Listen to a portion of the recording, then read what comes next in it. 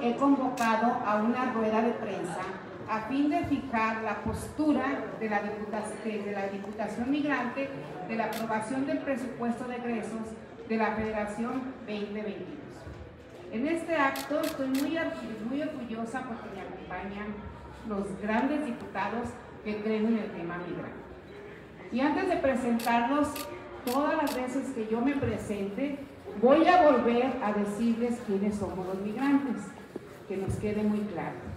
Que el ser migrante no se aprende en una universidad, ni en un taller, ni en una conferencia. Para ser migrante tienes que vivirlo, tienes que sentirlo, tienes que caminar el día a día con nosotros, tienes que llorar nuestras tristezas, sufrir nuestros descalabros, pero también disfrutar nuestros éxitos y nuestras alegrías. Es un honor que me acompañe la diputada Amalia García, luchadora siempre en favor de la causa migrante, el diputado Mauro Garza de Movimiento Ciudadano, Salomón Chestoriski de Movimiento Ciudadano, Rodrigo Sánchez Cepeda de Michoacán, del Partido Acción Nacional, Miguel Ángel Torres Rosales, diputado por la bancada del PRD, nuestro coordinador Jorge Álvarez Mañez. Muchísimas gracias. También nos acompaña el diputado, la diputada, Julieta, del Norte Ciudadano, mi gran amigo, el diputado Insulza, que siempre me ha acompañado en todas las luchas. La diputada Tere, también que me acompaña, Tere Ochoa, que me ha acompañado en todas las luchas. Me falta, ya, todos. Ahora sí, aquí estamos todos, estamos los que teníamos que estar. Bueno, yo convoqué a todos los diputados migrantes eh, por alguna razón pues no acudieron, pero aquí tenemos representantes de una, de una gran calidad que conocen el tema de El presupuesto aprobado en la mañana del domingo pasado ha sido un ejercicio muy lamentable. ¿Por qué? Porque fue un presupuesto que si bien se propuso al Ejecutivo Federal en el ámbito de su competencia, cuenta con pocos recursos económicos para programas en beneficio de la comunidad migrante y más lamentable que los diputados de la mayoría no cumplieran con permitir un análisis serio que diera una discusión que retomara propuestas en beneficio del sector migrante. Los diputados de Morena señalaron en la presentación de reservas que se incrementó el presupuesto para el ramo 05 de Relaciones Exteriores en beneficio de la comunidad migrante hay que señalar que quede bien claro que esto es falso. Falso porque si bien tuvo una ampliación el ramo de Relaciones Exteriores anexo 33, fue para el programa Coordinación, Promoción y Ejecución de la Cooperación Internacional para el Desarrollo mismo que se dirigirá a la Agencia Mexicana de la Cooperación Internacional para el Desarrollo, no para los programas migrantes, no se dejen engañar. Lo que claro no está mal. Como se observa, no es un presupuesto que permita desarrollar mayores políticas públicas en beneficio de nuestros connacionales en el exterior y de sus familias que siguen en sus comunidades de origen. Ejemplo de lo anterior, dentro del presupuesto para el programa Atención, Protección y Servicios y Asistencia Consulares para el ejercicio 2022, se propone aprobar 664 millones de pesos, que si bien aumentó con relación al 2021 que tenía programados 510 millones de pesos, si comparamos con el último año del pasado gobierno, es decir, el PER del 2018, tenía 836 millones de pesos, lo que quiere decir que estamos un 20% más abajo. Por ello, los diputados del Movimiento Ciudadano, del PAN, del PRI y del PRD luchamos en la discusión en lo particular para ampliar recursos a los programas que atienden directamente a nuestros connacionales, como el programa de atención, protección, servicio y asistencias consulares y otros programas que en dicha propuesta no estaban incluidos, como el programa de coinversión migrante o 3x1, fondos de repatriación digna, fondo a favor de los extranjeros, porque saben que México ha desacatado la resolución judicial que determina que a cada extranjero se le adeuda un millón noventa y seis mil pesos. Hago un llamado al presidente López Obrador que cumpla su promesa de campaña de resolver el adeudo histórico de los extranjeros, que por más de 70 años está vigente. Además, es importante mencionar que tampoco se, aceptó algún incremento presupuestal para los migrantes de tránsito en el territorio nacional, ni para los que se encuentran en condiciones vulnerables como los niños no acompañados. Dejemos claro, todo migrante de paso debe de ser tratado como nosotros exigimos que, nuestros connacionales en el exterior sean tratados, conforme a nuestra constitución y a los tratados internacionales firmados por nuestro país. Cedo el micrófono para hablar sobre el mismo tema a nuestra diputada Amalia García.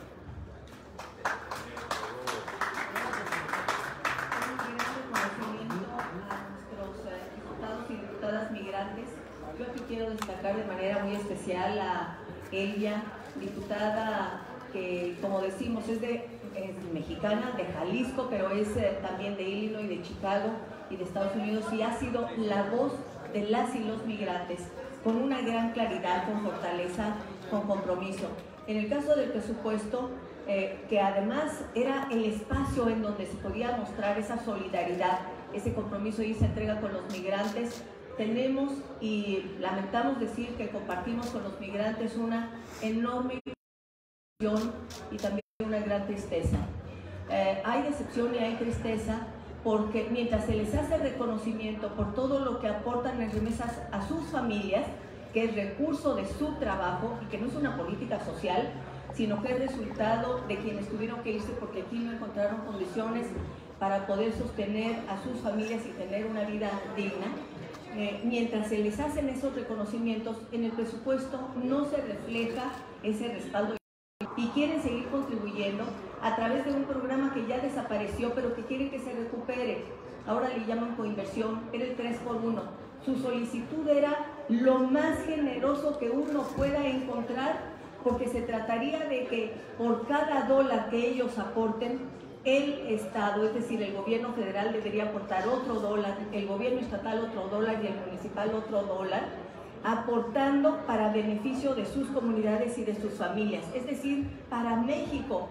¿Qué programa más generoso podríamos encontrar sobre la tierra?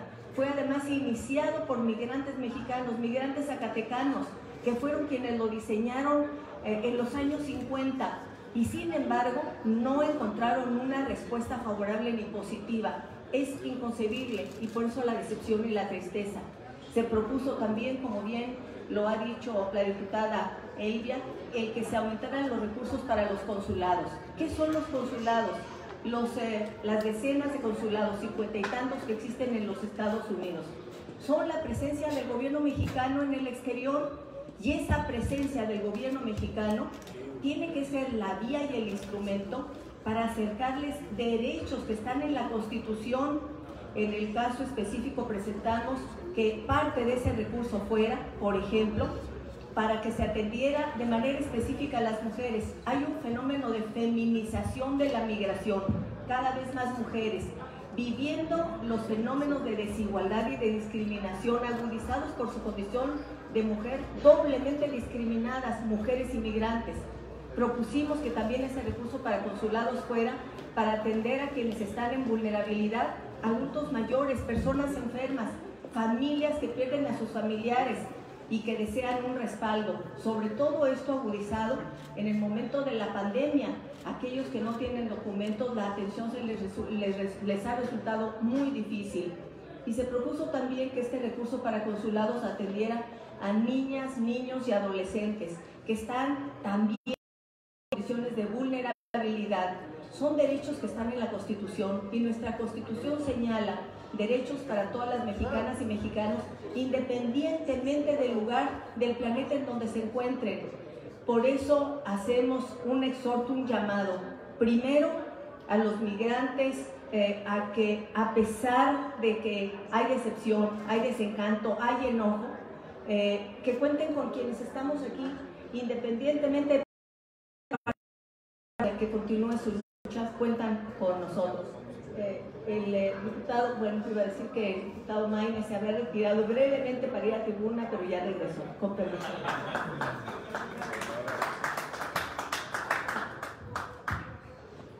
Muchas gracias, mi nombre es Miguel Torres, diputado del Grupo Parlamentario del PRD.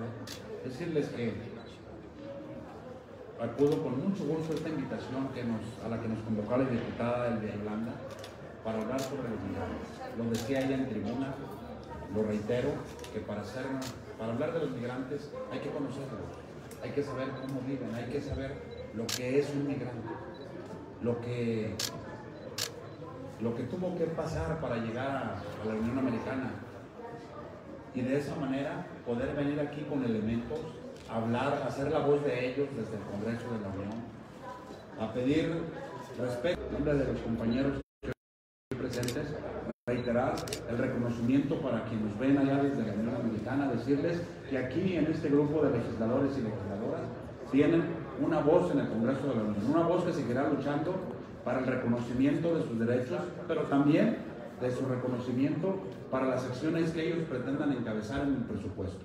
Muchas gracias, al diputado Yolanda, compañeras y compañeros, y quedo a sus órdenes.